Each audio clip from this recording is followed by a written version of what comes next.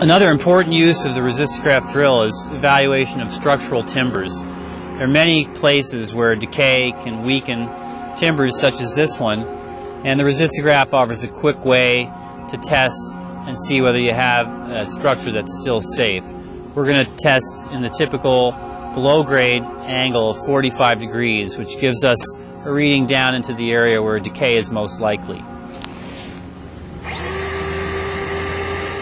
Another great use of the resistograph is structural testing in houses.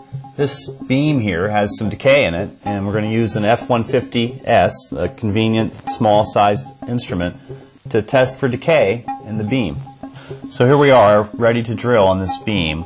I've determined the dimension of the beam, and I'm going to stop before I poke the needle through the roof.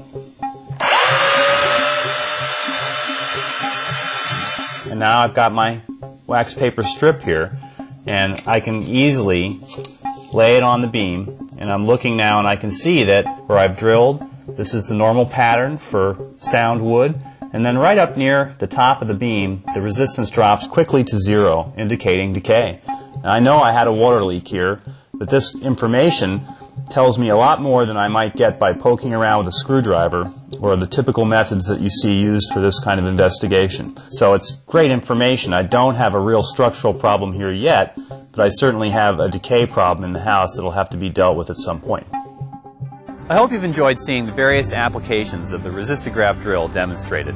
Clearly, this tool is the best thing out there for testing trees, poles, beams, timber structures of various sizes and shapes.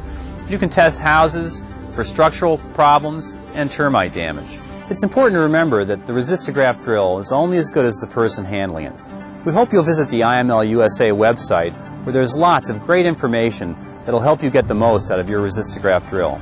IML USA, in cooperation with Tree Solutions Inc., also offers intensive seminars on the care and feeding of the resistograph drill. These small group experiences will give you hands-on knowledge of how to maintain your drill how to interpret the data, and to learn some tips from people who've been using these marvelous instruments for over 10 years. I hope you can come join us for one of our seminars this year.